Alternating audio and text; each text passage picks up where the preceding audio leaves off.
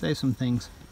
Hi everyone, I'm the Chesapeake Mermaid, and I'm here today because I would like to talk to you about straws. Straws. Straws, straws. Straws, straws, straws, straws. Okay. Can you guys tell me when this happens? You have straws.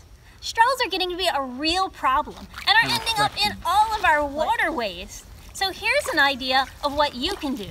Next time you visit a restaurant, you can say, I'd like a glass of water and no straw, please.